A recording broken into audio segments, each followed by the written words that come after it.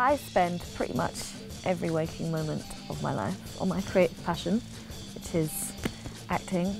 Everything I do goes towards my job or getting a job.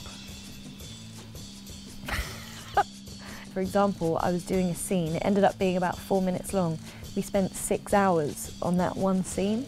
And so when you think about a whole series, you can just imagine how long it takes. It's so important to get it right from a genuine site. Everything you do going towards your passion is time and it's important.